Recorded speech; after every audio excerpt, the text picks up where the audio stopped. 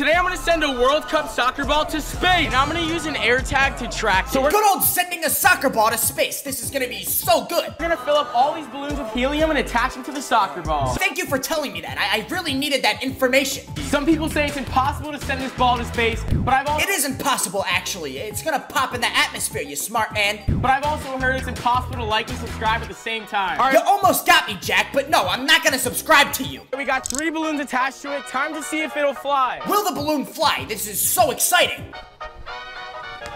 Dang. That was so entertaining. Oh my god.